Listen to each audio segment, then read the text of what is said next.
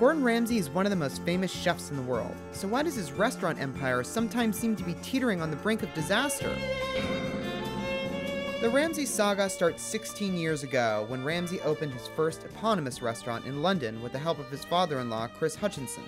The duo created a company called Gordon Ramsay Holdings Limited and quickly expanded throughout England, North America, Europe, the Middle East, Africa, and Asia.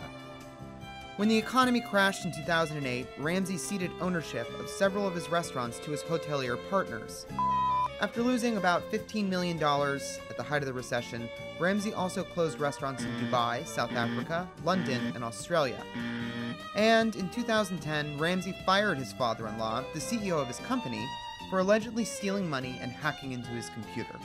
With Hutchinson out of the picture, Ramsay owned a 69% stake in his company, and he began expanding his empire once again.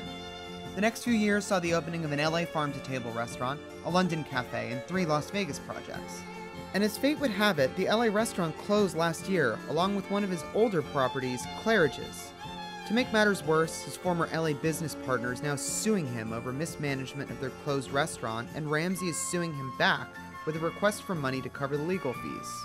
Amidst all of these lawsuits, Ramsay is looking to sell a 50% stake in his group to an investor or a group of investors that will help further expand his restaurant empire.